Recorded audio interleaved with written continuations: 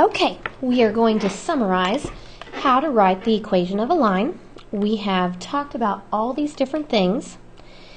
If you're given the slope and the y-intercept, if you're given a graph, if you're given the slope and a point, or if you are given two points. Okay, so let's just start with this very first one.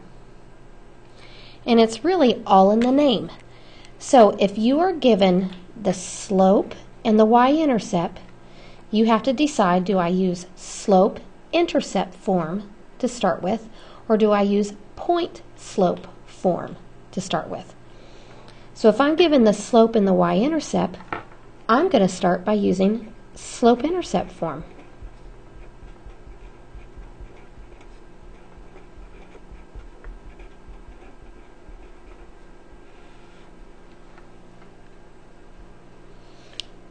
It's all in the name. If you're given the slope and the intercept, you start with slope intercept form. Okay, and slope intercept form is y equals mx plus b. The only two things that I have to know are the m, the slope, and the b, the y-intercept. And did they give that to me down below? Yes. They said the slope was 1 half so I'm going to put 1 half where the m is. I'm going to recopy the x, the equals, and the y. And do I know b? Do I know the y-intercept? Yes. The y-intercept is negative 3. So I put a minus 3 where the b is. And that's it. I have the equation of my line in slope-intercept form. it's all about the name. So if you're starting off with the slope and the y-intercept, you can jump straight into slope intercept form. Okay, this next one, we want to write an equation if we're given a graph. So if I'm ever given a graph of a diagonal line, like you see down here, I know that every diagonal line has an x and a y in the equation, so I'm going to start off with slope-intercept form again.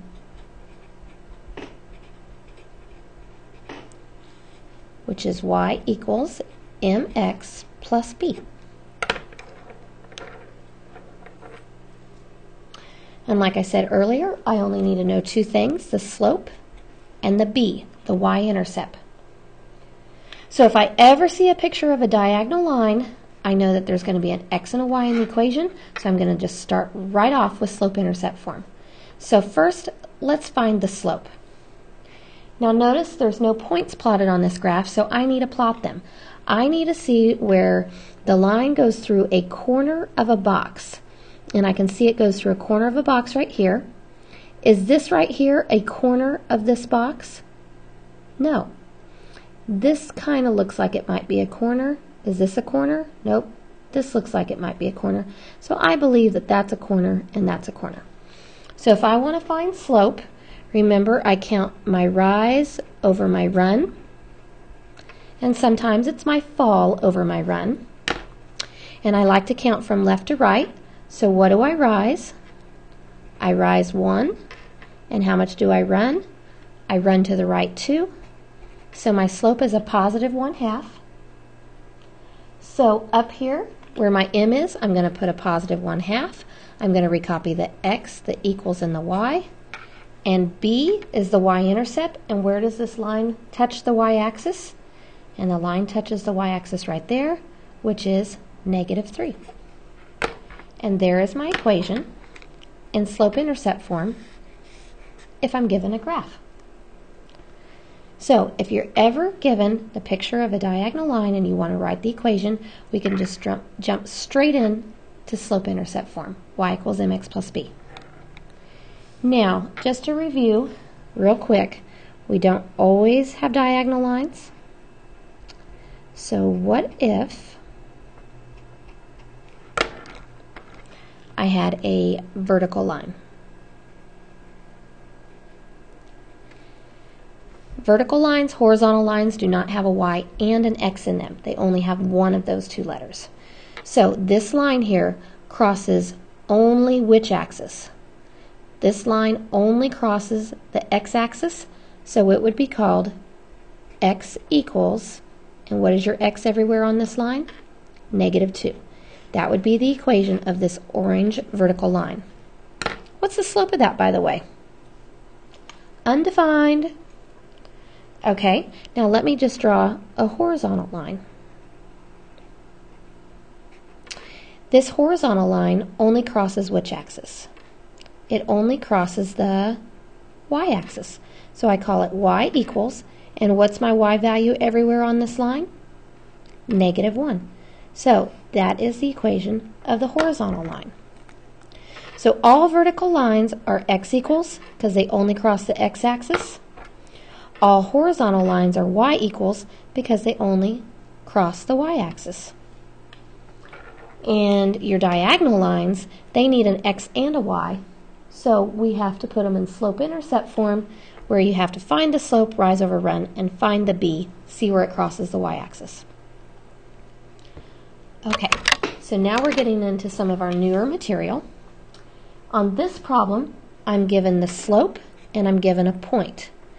So if you are ever given a point, not from a picture of a graph, but if you're ever given a point, we are going to start off with point slope form.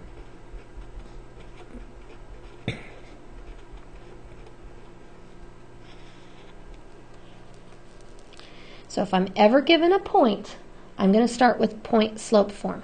Now, in order to be ready for this form, do I have a point and do I have a slope?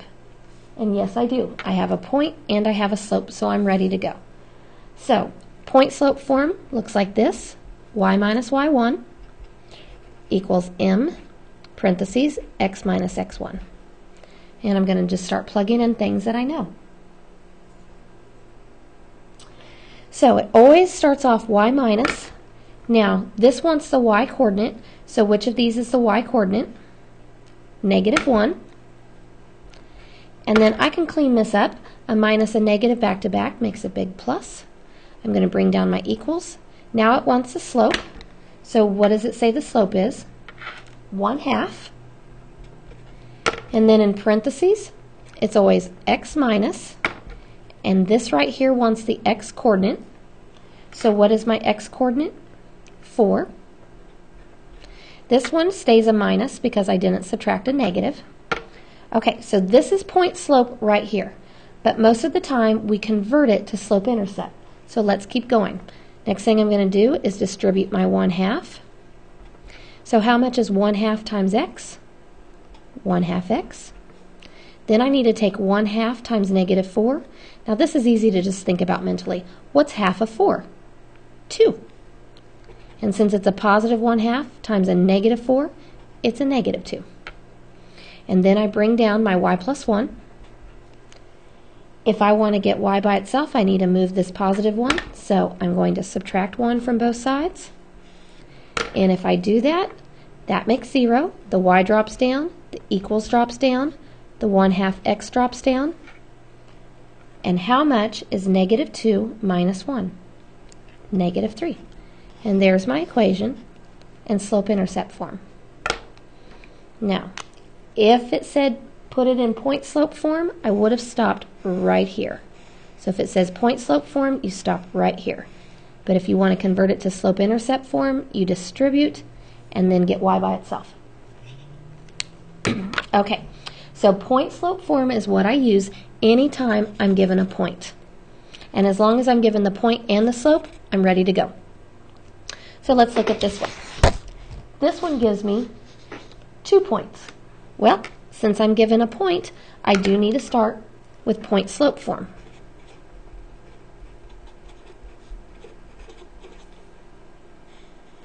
Now, do I have everything I need? Do I have a point and a slope? No, all I have are points.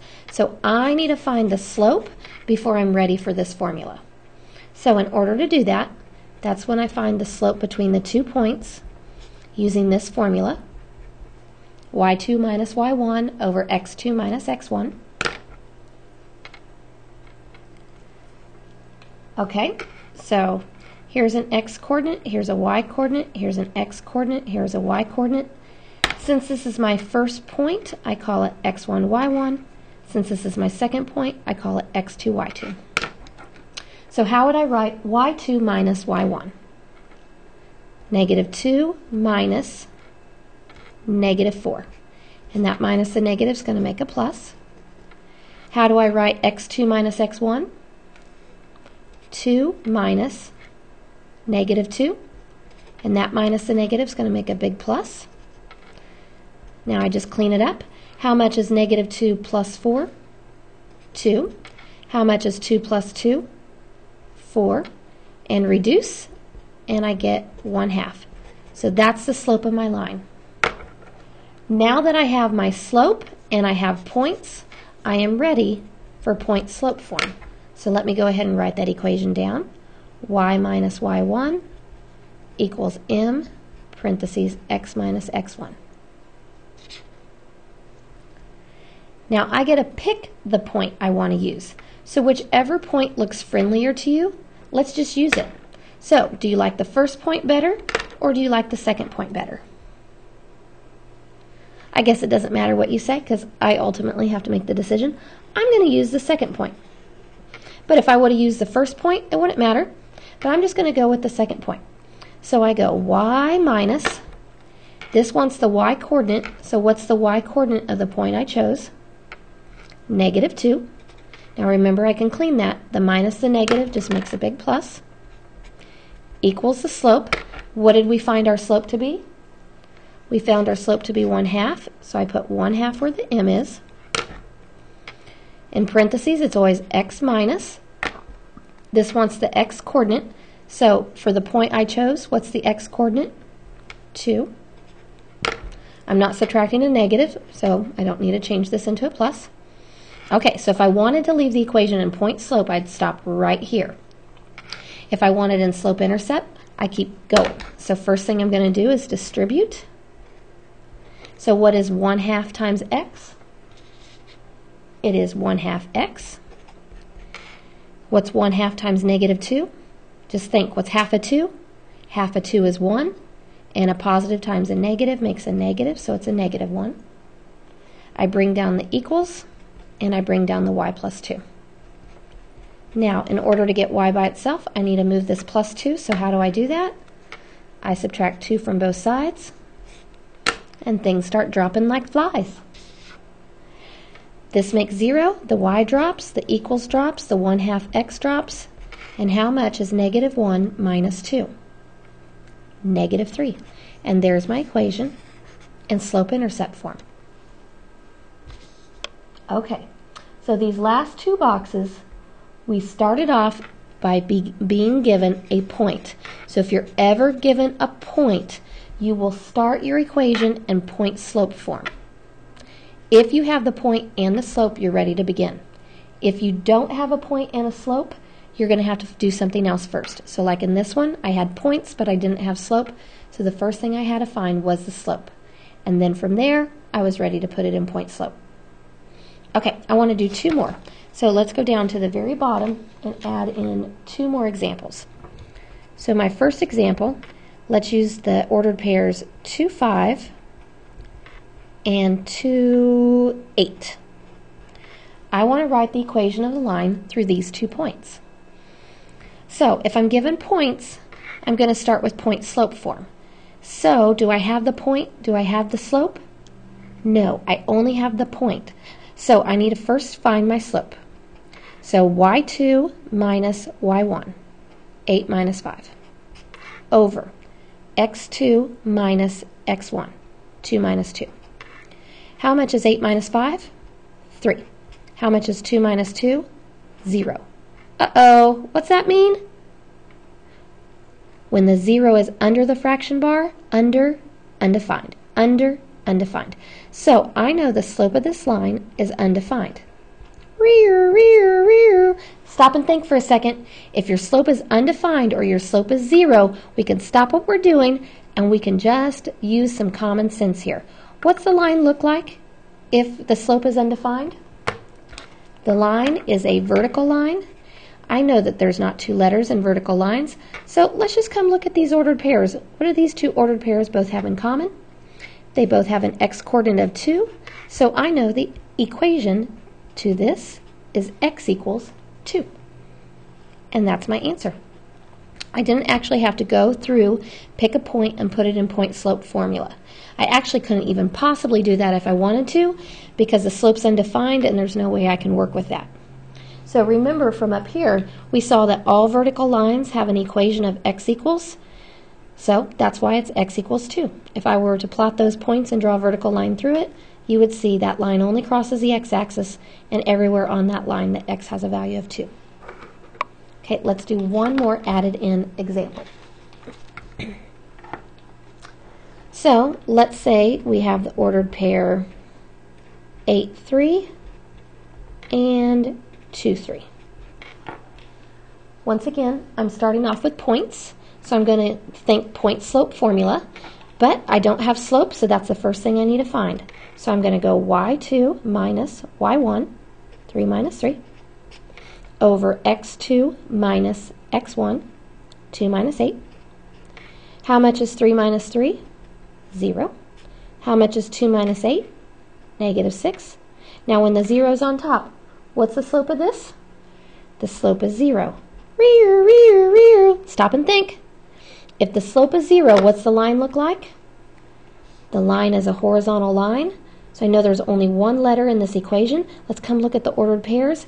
They both have a y coordinate of 3, so I know the equation is y equals 3, and I'm done. And we saw up here that all horizontal lines do have an equation of y equals. So when you are working these problems and you're given points, you know you have to find slope first. If you ever find the slope to be undefined or zero, stop and think for a second and just come look at the ordered pairs and write down what they both have in common, and bam, you'll have your equation. Whereas up here, when you found the slope, you found the slope to be 1 half. So since the slope wasn't 0 or undefined, I had to go through the process. I had to pick a point, whichever one I wanted to use. I put it in point slope, did the conversion process, got slope intercept form. So if your slope is something other than 0 or undefined, you have to work the entire problem out. But if your slope is zero or undefined, you can take a shortcut. Just look at the ordered pairs, see what they have in common, write your equations down. And that's all. Thank you so much.